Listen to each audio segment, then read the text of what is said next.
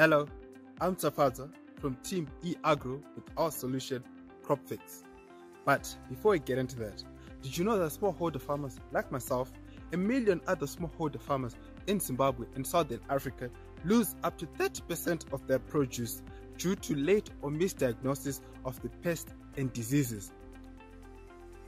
This has resulted in the smallholder farmers using the wrong pesticides or using what is commonly referred to as msanganiswa, where they mix multiple pesticides and apply them to the field with the hope that one of them will work. Now, at eAgro, we have come up with a solution that is easy to use, accessible, and cheap for these smallholder farmers. That is using a WhatsApp chatbot to automatically identify pests and diseases and offer sustainable solutions to solve it. Now, what a farmer simply has to do is to take out their phone, go into their field, take a picture of their crop, and send it to our chatbot.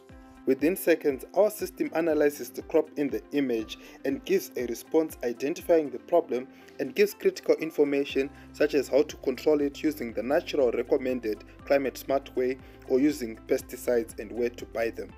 During the hackathon, we added and trained the machine learning model for additional diseases such as the fall armyworm and a couple of more diseases. We also added a new feature of automatic farmer alerts this alerts farmer in the same area if a disease has been detected nearby and tells them how to prevent the identified diseases before it reaches their farm. They get this through a text message. As a team, we are diverse enough to run the product forward and we're also passionate about it as we're going to take the product from what we have and going forward as a team.